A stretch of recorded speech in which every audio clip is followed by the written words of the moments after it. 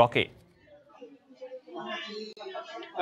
ধন্যবাদ ফয়সাল। আপনি জানেন, আসলে তীব্র সত্য প্রভাব বইছে জেলায়। সকাল থেকেই ঘন কুয়াশায় একেবারে আচ্ছাদিত থাকছে। আজকেই এই মৌসুমের সর্বনিম্ন তাপমাত্রা রেকর্ড করা হয়েছে এই নওগাঁতে সাত দশমিক চার। তো এ যাবৎকালের সর্বনিম্ন তাপমাত্রার কারণে গত এক সপ্তাহ জুড়েই কিন্তু একেবারেই খুবই নাজুক অবস্থা বিরাজ করছে এবং হাসপাতালগুলিতে সবচাইতে বেশি ভিড় হচ্ছে কিন্তু শিশু এবং বয়স্ক রুগীদের আমরা এই মুহূর্তে নগর সদর হাসপাতালে রয়েছে। এই হাসপাতালে কিন্তু প্রচণ্ড চাপ রয়েছে শিশুদের। শিশুরা ডায়রিয়া, নিউমোনিয়া এবং পেটের পিড়ে আক্রান্ত হচ্ছে।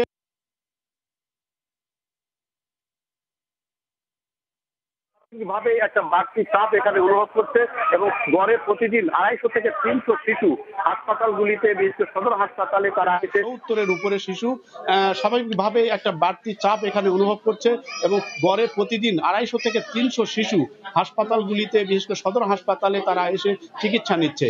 তো মূল কারণটাই বলছে যারা অভিভাবক আসলে ডায়রিয়া, নিউমোনিয়ার পিছনে তীব্র সত্য প্রবাহ একদিকে যেমন বলছে ঠান্ডার কারণে তারা এই বেশি বেশি আক্রান্ত হচ্ছে। এক্ষেত্রে ডাক্তাররা যে পরামর্শটা দিচ্ছে তা হলো এই- দুর্যোগপূর্ণ আবহাওয়ায় সকালে শিশুদের বের না করা এবং গরম কাপড়ে তাদেরকে যেন আচ্ছাদিত করা হয়, এমন পরামর্শই কিন্তু ডাক্তারদের পক্ষ থেকে আসছে। আগামী দু একদিন কিন্তু এই অব্যাহত থাকবে সত্য প্রবাহ এবং এরপরে ভারী দিয়েছে। তো জেলায় কিন্তু গত এক সপ্তাহ থেকেই এই নাজুক অবস্থা তার মধ্যে আজকের তাপমাত্রা কোন কোনে ঠান্ডা এখানে বয়ে চলেছে এই ঠান্ডার কারণেই আহ, স্বাভাবিক জীবনযাত্রা কিন্তু কিন্তু গত এক সপ্তাহ থেকেই এই নাজুক অবস্থা তার মধ্যে আজকের তাপমাত্রা কোন কোনে ঠান্ডা এখানে বয়ে চলেছে এই ঠান্ডার কারণেই স্বাভাবিক জীবনযাত্রার কিন্তু একটা ছন্দ পতন আমরা লক্ষ্য করছিলাম। বিশেষ করে যারা খেটে খায় নিম্ন আয়ের মানুষ এই দুর্ভোগটা তাদের জন্য একেবারে অসহনীয় পর্যায়ে পৌঁছে গেছে। তারা আসলে অনেকটা কাজকর্ম করতে পারছে না, এ কারণে কিন্তু তাদের দুঃখ কষ্টটাও বেড়ে গেছে।